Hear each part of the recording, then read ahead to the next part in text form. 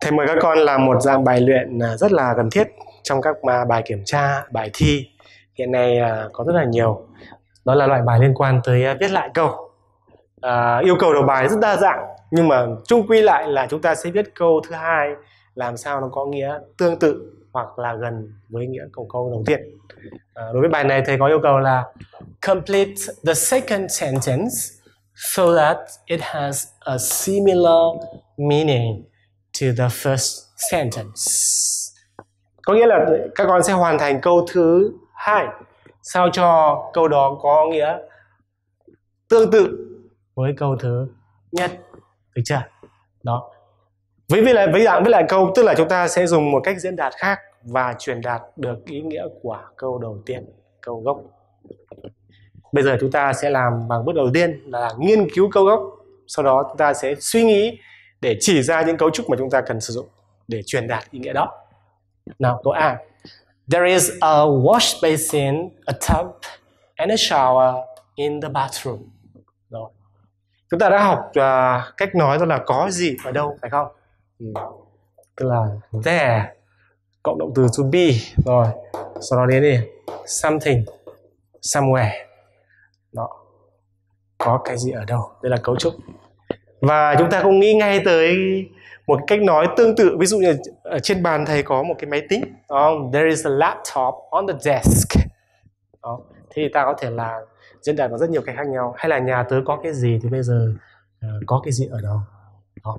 cách nói thứ hai đó là ta dùng uh, câu là chủ ngữ have. Sau đó tân ngữ yeah. somewhere. Tức là ai có cái gì? đó hoặc là đối tượng sở hữu. Bằng cách đó chúng ta sẽ sử dụng được à, để viết lại câu đầu tiên và các con sẽ biết là gì nhỉ? The bathroom. Đó. có những cái đồ vật này wash basin chậu rửa bồn tắm này rồi vòi hoa sen trong bồn tắm. Vậy thì phòng tắm buồng tắm có cái đó nó sở hữu. The bathroom. Has được chưa? Sau đó con sẽ dùng tính tính uh, tân ngữ đó là a wash basin. A tub and a shower. Rồi chấm hết câu thầy. Yeah. đọc lại thầy nào. There is a wash basin, a tub and a shower in the bathroom.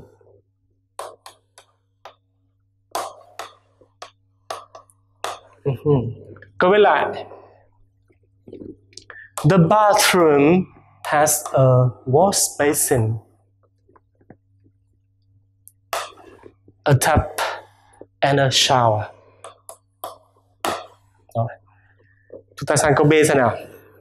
My house has a living room, a bedroom, and a kitchen.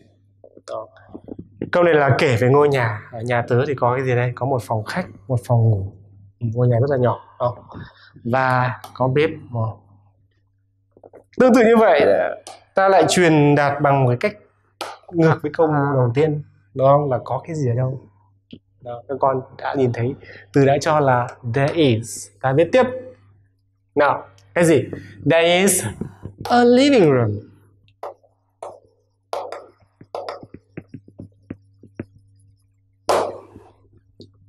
Có một cái gì nữa a bedroom a bedroom, and a kitchen.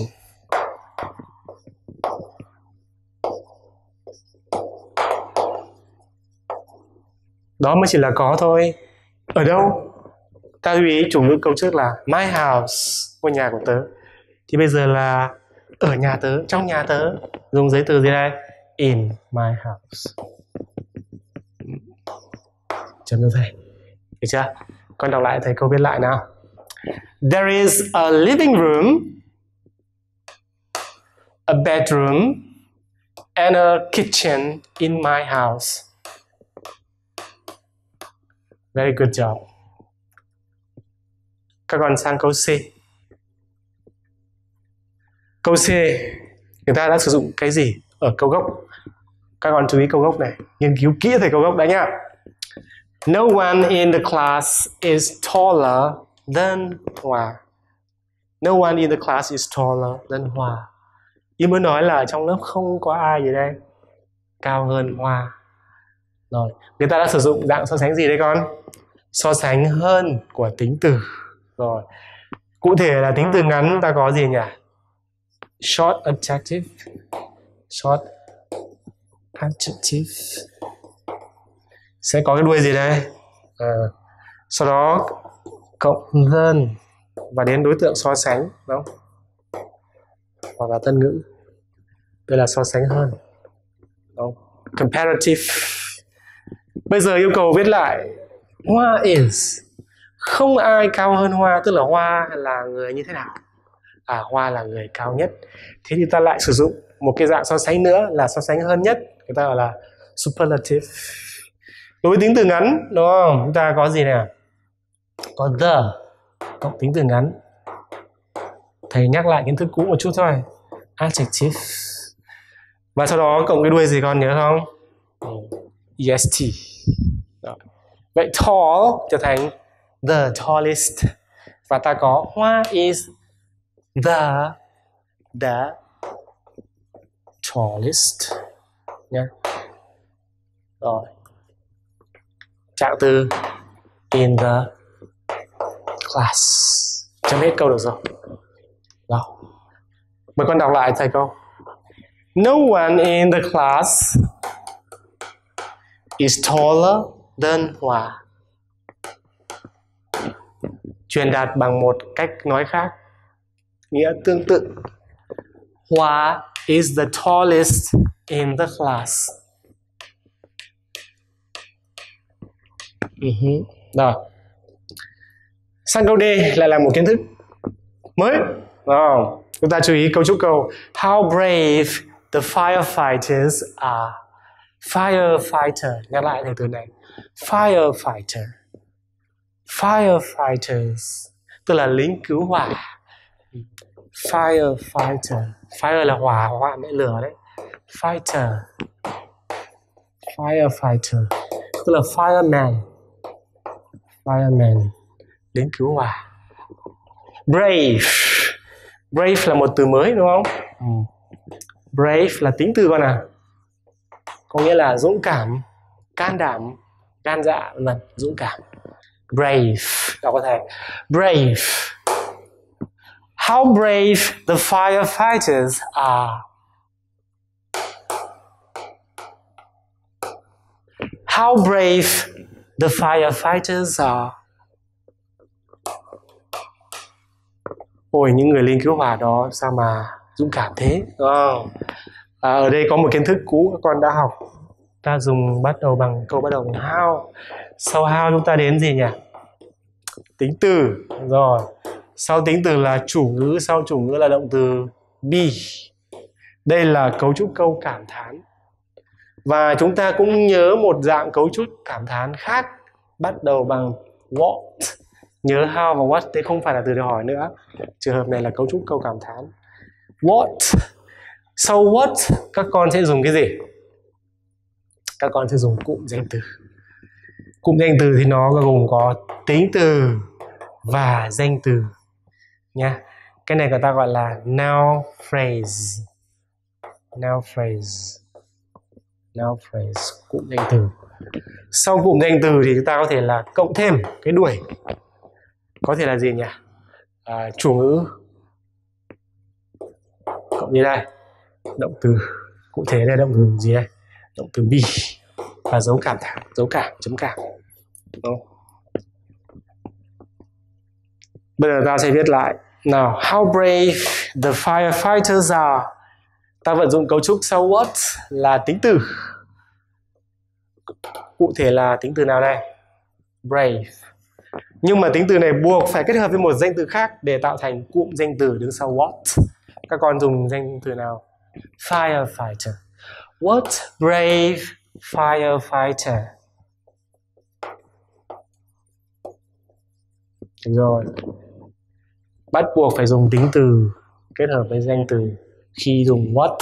Nhưng mà sau how thì chỉ có tính từ mà thôi. Nha. Rồi ta còn gì nữa không? Câu trên dùng động từ to be thì dưới ta phải dùng động từ to be nhưng mà ta nhớ phải có cái chủ ngữ nữa. Ờ, chủ ngữ bây giờ ta những người lính cứu hỏa đó thì ta dùng từ ngữ là gì? They nhé yeah. what brave firefighter they are được không? They are hoặc con bỏ phần này đi. What brave firefighters. Hết. Được chưa? Trở về câu E.